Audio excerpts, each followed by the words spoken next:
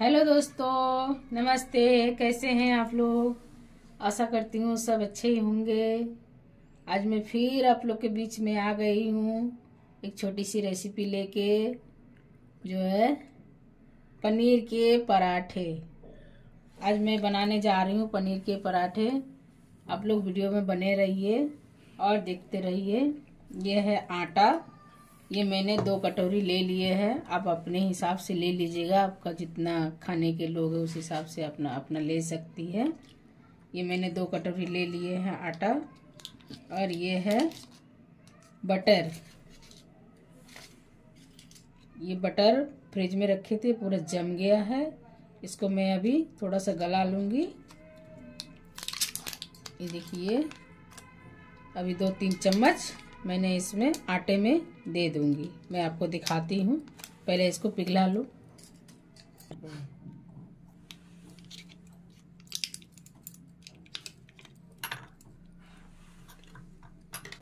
अब मैं इसको थोड़ा गला लेती हूँ, तभी आटे में ये मिलेगा। क्योंकि ये ठंड भी बहुत है और फ्रिज में भी रखा था कि पूरा टाइट हो गया है।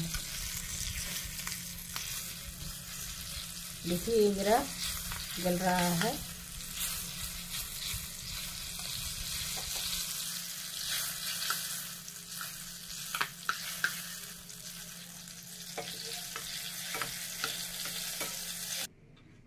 ये स्वाद अनुसार मैं नमक डाल देती हूँ थोड़ा सा।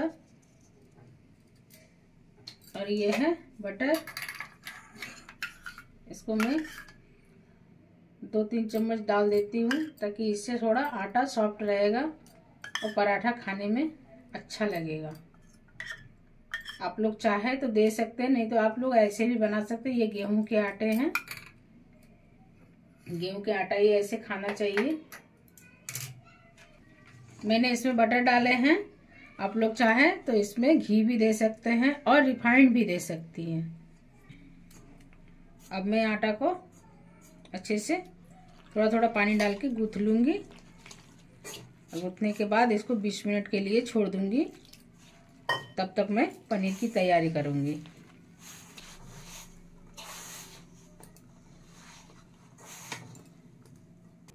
देखिए दोस्तों, ये है 200 ग्राम 200 ग्राम पनीर। ये चार प्याज चार प्याज है, दो तीन मिर्ची है। मिर्ची अपने हिसाब से ले लीजिएगा। और थोड़ा सा अदरक के टुकड़े हैं। थोड़ा धनिया पत्ता है। धनिया पत्ता और मिर्ची आप अपने हिसाब से दे सकते, कम या ज़्यादा कर सकते हैं। अब मैं इसको अच्छे से काट लूँगी, फिर मैं काट के आपको दिखाती हूँ। देखिए दोस्तों, प्याज का जो ये हिस्सा है, ये हिस्सा नहीं खाना चाहिए, इसको ऐसे करके काट के निकाल देना चाहिए अच्छा नहीं होता है। ये पनीर को मैं कद्दूकस कर लेती हूँ। ये देखिए बड़े वाले में। इसको क्रॉस कर रही हूँ।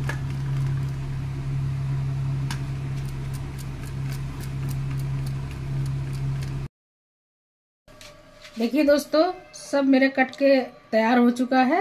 अब मैं एक ही साथ सबको मिला लूँगी मसाला वगैरह डाल के। फिर मैं पराठा बनाने की तैयारी करूँगी। अब मैं इसको इसमें डाल देती हूँ, पहले पनीर को।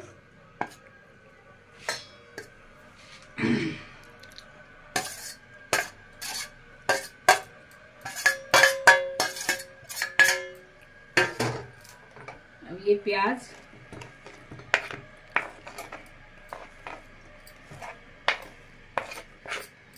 मिर्ची। मिर्ची अपने हिसाब से ही दीजिएगा। बच्चों को क्योंकि ज़्यादा मिर्ची पसंद नहीं होता है। ये धनिया पत्ता।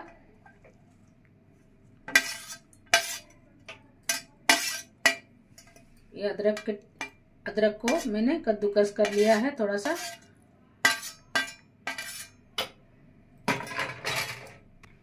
एक चम्मच दे देती हूँ मैं धनिया पाउडर। चम्मच अमचूर पाउडर भी दे देती हूँ। इसमें थोड़ा खट्टा खट्टा आएगा अच्छा लगेगा।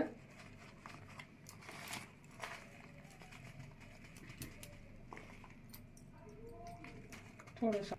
ये थोड़ा सा मैं गरम मसाला पाउडर भी डाल देती हूँ।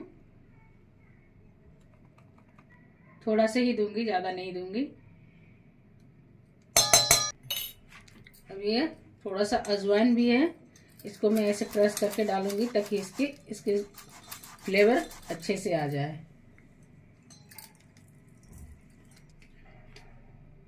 स्वाद अनुसार नमक डाल दीजिएगा। ऐसे चम्मच दो चम्मच इसमें थोड़ा सा बटर भी डाल देती हूँ। अब चाहे तो घी भी डाल सकती है। इसको मैं अच्छे से मिक्स कर लूँगी।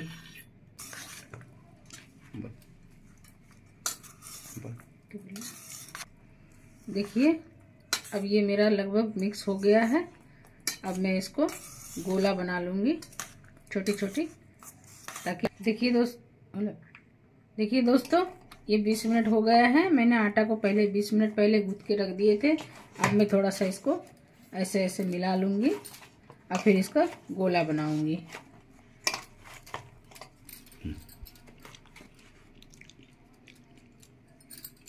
अब इसको ऐसे करके मैं कटोरी बना लूँगी। तभी मैं इसको भर पाऊँगी अच्छे से, बड़ा सा कटोरी बनाऊँगी।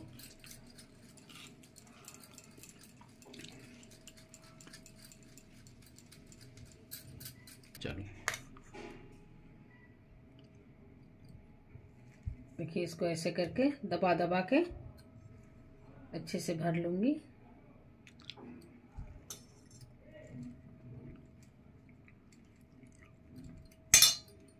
फिर इसको ऐसे करके अच्छे से मोड़ लूँगी ताकि निकल ना जाए।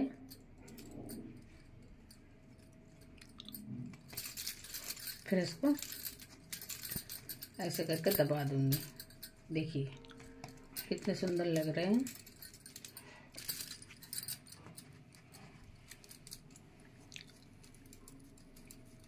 हम्म।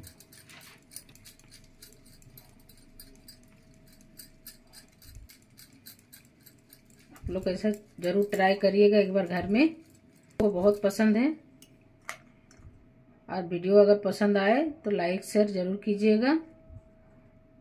और आपकी यूट्यूबर को जो बनाती थी वो बनाएगी कुछ दिन में। उसको अच्छे से सपोर्ट करिएगा। जैसे पहले सपोर्ट करते आए हैं। ये सब वीडियो में भी सपोर्ट करते रहिएगा। बहुत जल्दी वो आप लोग के सामने आएगी और आप लोग को नई नई रेसिपी देगी।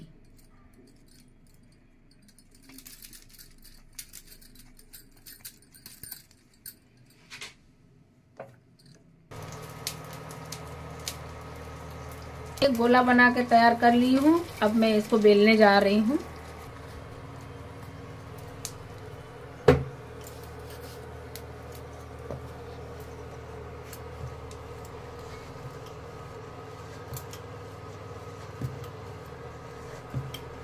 देखिए दोस्तों, ये बेल बेल के पूरा हो गया है। अब मैं इसको तवा में रख देती हूँ।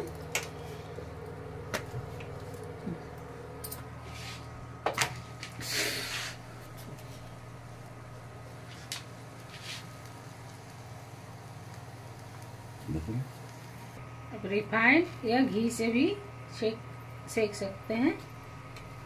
आपको जो पसंद।